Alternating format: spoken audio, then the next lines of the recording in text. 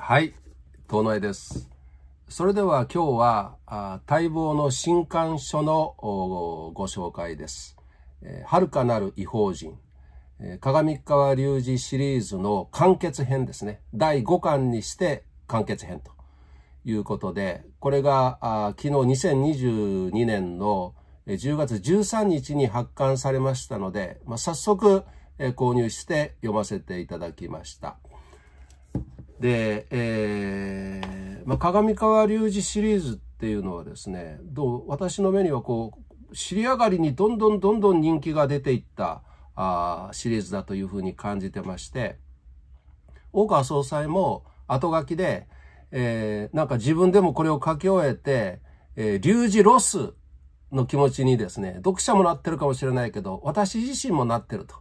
いうふうなですね、えーお言葉がございました。私も本当に同じ気持ちであります。ついに終わってしまうのかと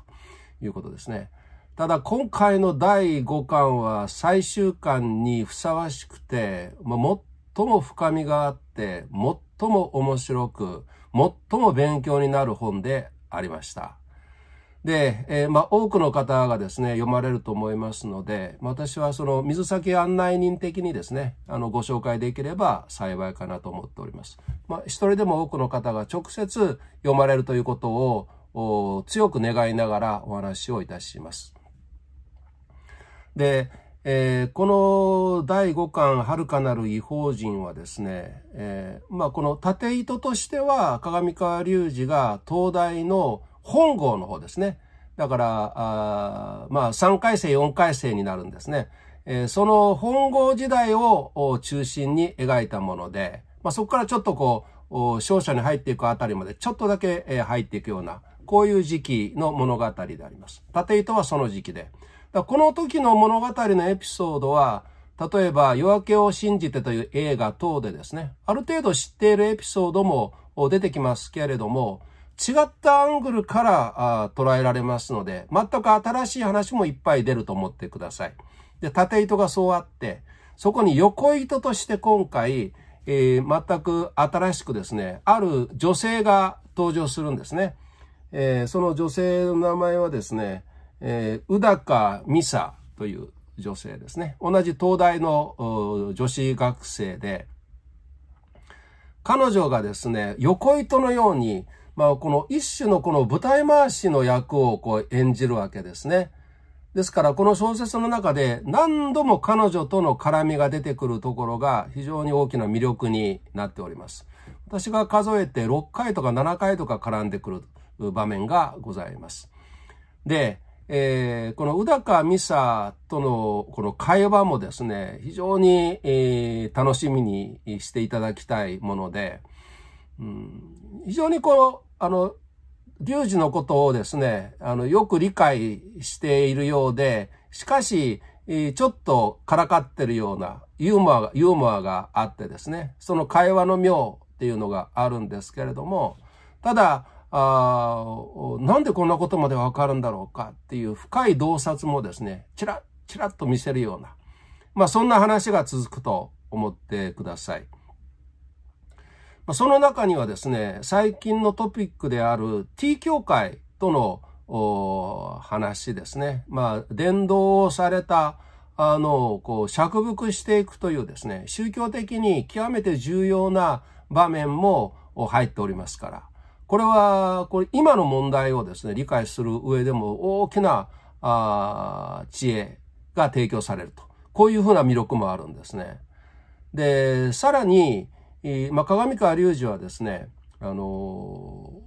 法学部に入って、で、えー法学と、それからまあ政治学あたりをこう学んでいかれるわけですけれども、この政治学のところはですね、非常に私があの興味を引いたのはですね、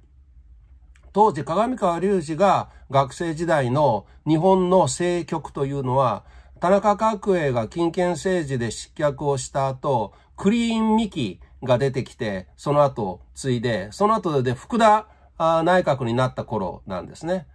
で、このあたりをですね、この政治学の恩師から、鏡川隆二は、この、政治家票を求められるところが非常に面白かったですね。えー、三木武夫を鏡川隆二はどう見ているのか、田中角栄をどう見ているのか、福田武をどう見てるのか、こういったものがたくさん出てきます。大平正義をどう見てるのか、中曽根康弘をどう見てるのか、後藤田正治をどう見てるのか。で、その中で特にですね、最近の呪い返しし塩子との関連で言えば、この天狗問題というのが一つ大きく出てますけれども、ここでもですね、えー、天狗のあ、ある意味、この非常に私としては驚きの解釈が出てきます。というのも、その田中角栄が天狗だということはですね、過去の霊査等で明らかにされてるんですけど、ここで、え、鏡川隆二が見抜くのは、むしろ田中角栄とか三木武夫は、まあ、良きにつけ足につけ政治家らしい政治家なんだけれども、福田武夫という人は、東大法学部を主席で卒業して、で、大蔵省に一番で入って、42歳で大蔵省の主計局長にまで出世するというですね。あの、要するに優秀な官僚なんですけれども、ここに天狗性があるということがですね、明かされるんですね。だからちょっと意外な感じで、えー、この、まあ、東大というのはですね、あの、天狗の山を作ったというふうな言い方をしておられるのが前巻でありましたけれども、まあ、そういうところ、天狗性の洞察というものも出てくるので、私としてはですね、塩子との関係で大変目を引きました。それからあと、法学部の中でですね、えー、まあ、この、通常の東大生と鏡川隆二の違いを示すところで、えー、ダチョウの知性と和紙の知性という話が出てまいります。同じような論旨はこれまでにもありましたけれども、虫の目と鳥の目という対比でですね。ダチョウというのは地面をこう張って、細かく細かく勉強していく。こちらがまあ東大の受験秀才たちが持っている知性なんですけれども、もう一つ別の知性、これが和紙の知性で長官していく。遥かなる空から長官していく知性、全体を見ていく。こういう全体のつながりを見ていくような知性が和紙の知性で、これが鏡川隆二が持っているもう一つのですね、特徴で、これを持っているものは他に非常に少なかったというような意味合いが出てまいります。で、そこからさらに、その法学部で学んだリーガルマインドですね。この法律的なこの知恵というものが、その後のこの宗教の教祖となって法を解くときに、どれほど他との違い、差別化を生み出しているかという、これ重要なですね、えー、宗教的には非常に重要な話が出てくるので、ここもお楽しみにしていただきたいと思います。まあそういうふうなですね、学問上の話がずっと出てきて、えー、さっきも言いましたように、横糸としては、その、宇高美里のですね、えー、いろんなあ面白いエピソードが出てくると。飽きさせない内容だと思いました。で、最後やっぱり突筆すべきはジョン・レノンの話が出てまいります。で、えー、川上隆二はですね、大学時代、ビートルズからはちょっと距離を取っていたという前、うん、前巻での記述もありましたけれども、やっぱりジョンがですね、1980年12月8日に、えー、ニューヨークで暗殺された後、言いようのない悲しみに襲われたというですね、記述が出て、これ初めてのこういう記述だったんじゃないかなと記憶しますが、で、ここ、やっぱり重要なところですね。イエスの分身であるジョン・レノンが亡くなって、すごい悲しみが込み上げてきて、しかし、ジョンが亡くなったのを機会に、この川上隆二が変化するんですね。えー、明確な変化が解かれてですね。で、一つの時代が終わって、一つの時代が始まるという、やっぱここ大きな、この人類の運命上のですね、歴史上の転換点になっている話が出てまいります。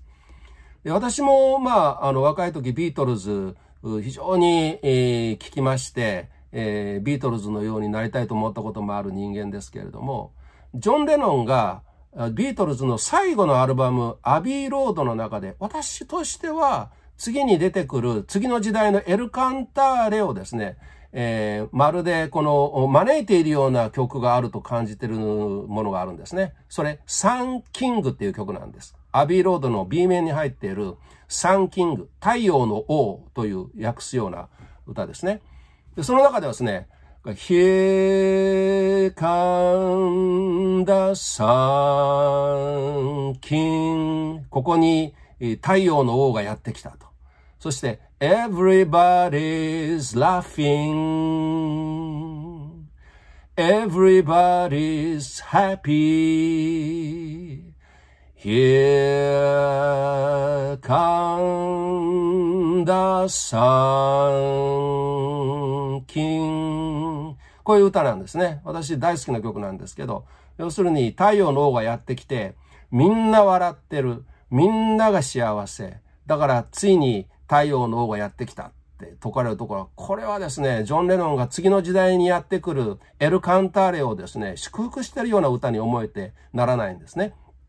まあ、これは私の、あの、感想にすぎませんけれども、まあそういうジョン・レノンとの絡みがあって、そして最後ですね、これもあっと驚く、えー、素敵な終わり方をします。えー、ここはもうこれ以上言いますまい。えー、ただ私はですね、なぜか鏡川隆二シリーズ第3巻の永遠の京都でですね、最後妹の直子が出てきたあの不思議な神秘的なエピソードをですね、また思い出しておりました。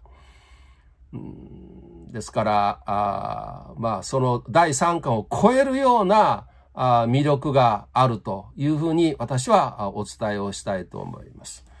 ということで、えー、鏡川隆二ロスも起きそうな、この遥かなる異邦人第5巻完結編ですね。まあ、ぜひとも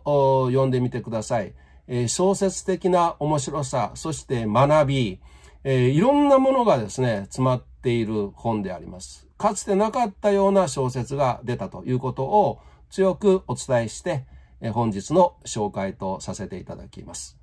ありがとうございました。